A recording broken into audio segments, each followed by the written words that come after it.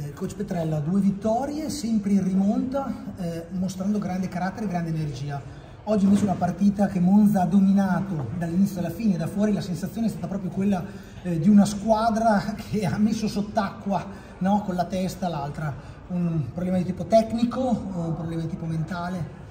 Sì, assolutamente, è evidente da come è andata la partita, insomma Monza è stata padrona del campo fin dall'inizio,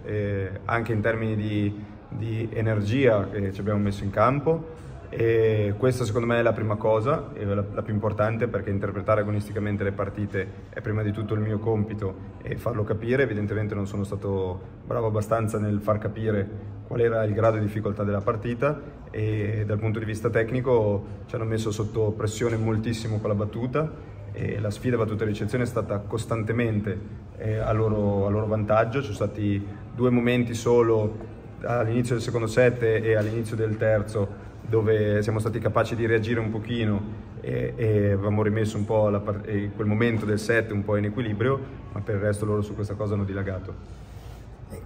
è mancato la, la ricezione, da lì l'attacco poi ha fatto molta fatica, cioè si può avere un attacco superiore anche con queste difficoltà di ricezione?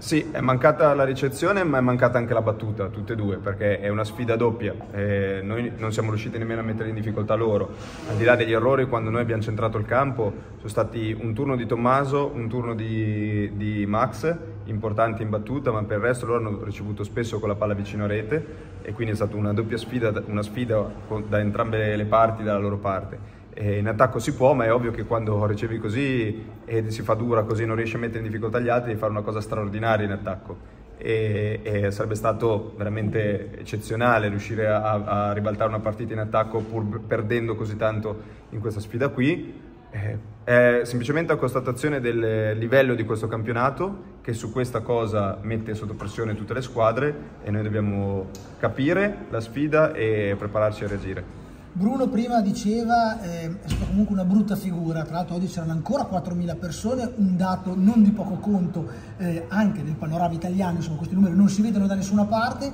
c'è una brutta figura, è mancata energia, forse anch'io potevo accendere un po' di più, cioè al di là della tecnica c'è qualcos'altro che non ha funzionato? Sì, sì, condivido. Eh, quello che dicevo prima, al di là dell'aspetto tecnico che è molto legato a quello di cui parlavamo prima, eh, fin dall'inizio in campo non c'era energia da parte nostra nell'interpretare la partita e ci sarebbe dovuta essere perché sapevamo che era una partita tosta, quindi assolutamente condivido le parole del capitano e dovremo essere bravi a riconoscerlo e a rimboccarci le maniche per ripresentarci la prossima volta al Palapanini e a Perugia la prossima settimana cercando di migliorare anche questo alla luce comunque del campionato che continua, delle giornate che andranno avanti, non c'è niente, niente che salvate oggi?